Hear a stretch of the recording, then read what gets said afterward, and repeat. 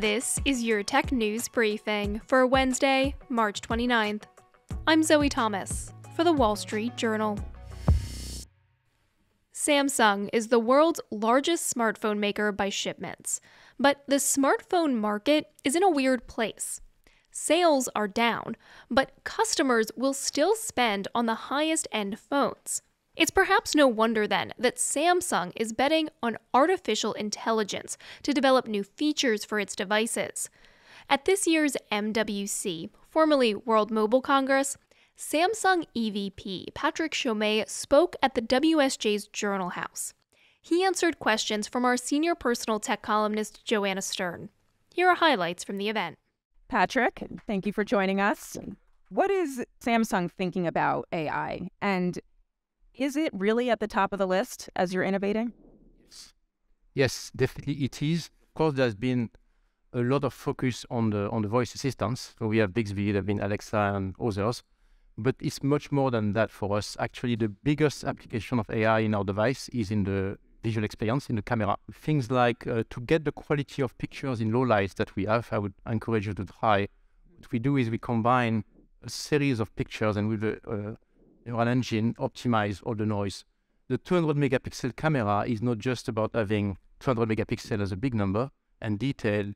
Uh, in low light condition, we can combine 4 to 16 pixels and with AI techniques filter out the noise to get better quality. So AI is very, very deeply embedded in our product, uh, in the image processing, uh, in the power management, for example, to foresee which app you are using, not using, shut them down and optimize the battery usage. It's all over. What about the generative AI space? You mentioned Bixby, and I think there's there's a feeling out there. How many people think? And I'm not going to just we won't focus on Bixby, but we'll say Bixby, Siri, and Alexa are just the smartest in the world. Anyone out there think they're just super smart?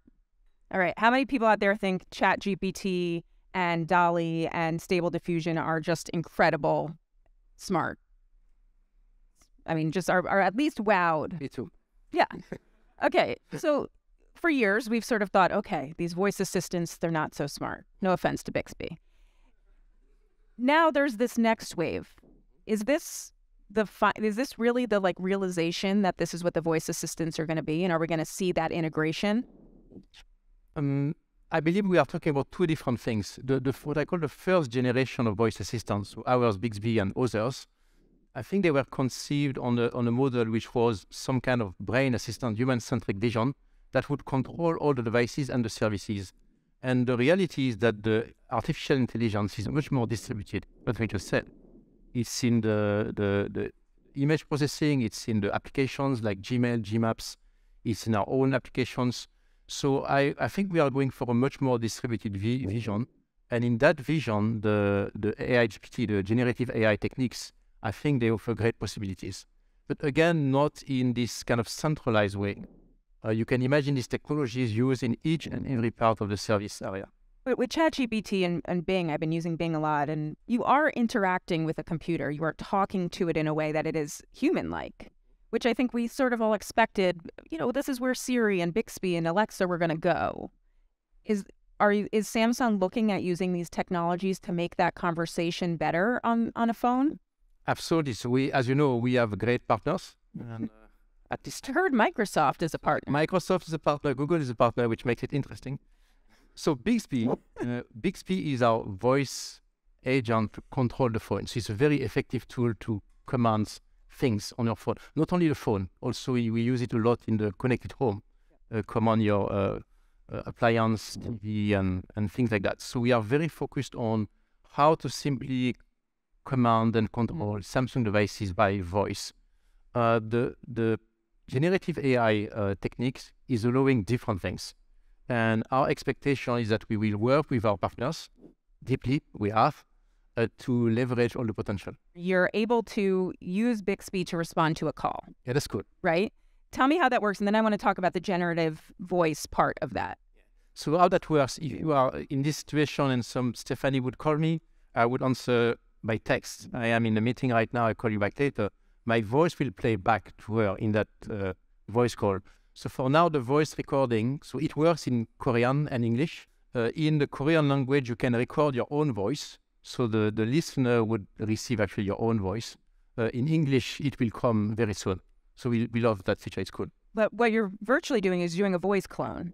You're making a version of your voice, and then you can type in whatever, and you're going to hear that version of your voice, right? Yes, but it's not generative AI. This is uh, fundamental, uh, well, digital filtering. Okay. Will will capture the tone of your voice and reproduce that tone. So, which is quite different from a full machine learning generative AI engine. So it won't sound exactly like me. It does. It does. It, Okay, so it will. it will sound like you. Is that a good idea? That my phone will sound exactly like you want anyone can type in what I sound like? If you decided to. Only if you decided to. But will there be any? So, say um, somebody decides they want to do a recording of Tom Cruise on this, and their voice will be Tom Cruise. Can that? Is there restrictions on that? But you can do that today. You can record any voice. There are applications on the internet to modify the tone. You can do that. But this is going to be on Samsung phones. There's more Samsung phones than probably some of these uses. I think it's based on user choice. I don't see a problem with it really. I think it's quite fun actually. Okay, let's shift to talking about VR, AR, your partnership, Samsung, Google, and Qualcomm around headsets. And uh, we talked a little bit about the future, but it sounds like you guys are all three teaming up to make something. What are you making? Hmm. You want a date, a form factor of I mean, you have a picture, you have a phone, you can race? What I can say, no, I don't have a picture yet, but I can tell you what we do. The reason why we announce is we believe it's a it's a long journey and there is a lot of work to be done. And uh, a characteristic of our ecosystem is we are open, so we don't do it alone. So we are doing a lot of fundamental work with uh, obviously with Qualcomm and Google on the core technologies and finding out the right experiences. But also, as we go, we are signaling to a number of ecosystem players that they should be ready to develop applications and apps and services to that ecosystem because we believe uh, when the mixed reality devices will come in, okay, we, we do some good stuff and we have some good apps, and so does Google and Qualcomm has great technology. But the real power comes from a richer ecosystem.